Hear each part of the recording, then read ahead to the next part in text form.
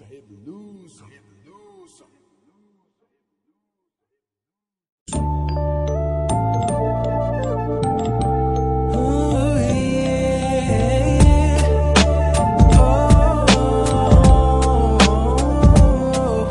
Senhor é meu pastor e nada me faltará. Deitar-me faz em verdes passos, guia-me mansamente a águas tranquilas. Refrigera minha alma, guia-me pelas veredas da justiça por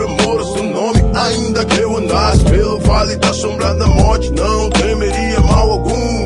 Porque tu estás comigo, a tua vara e o teu cajado me consolam, me consolam. Prepararás uma mesa perante mim na presença dos meus inimigos. Unge minha cabeça com teu óleo, o meu cálice transborda. Certamente que a bondade e a misericórdia me seguirão todos os dias da minha vida. E habitarei na casa do Senhor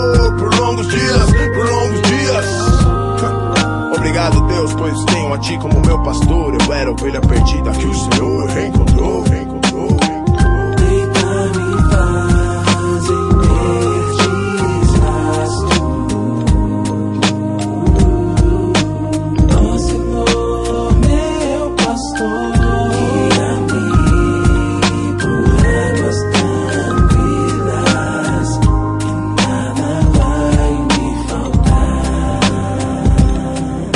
Aquele que habita no esconderijo do Altíssimo, a sombra do Onipotente descansará. Direi do Senhor, Ele é o meu Deus, o meu refúgio, minha fortaleza. Nele confiarei, porque Ele me livrará do laço do passarinheiro, da peste perniciosa. Me cobrirá com suas penas debaixo das suas asas.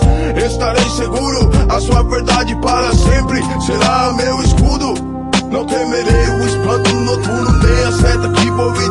dia, nem peste que ande na escuridão, nem mortandade que assole no meio do dia. Mil cairão ao teu lado, dez mil à tua direita, mas tu não serás atingido, diz o meu Deus. Com os meus olhos olharei e verei a recompensa dos ímpios. Ó Senhor, meu refúgio altíssimo, habitação, nenhum mal me sucederá, nem praga alguma chegará à minha tenda. tenda.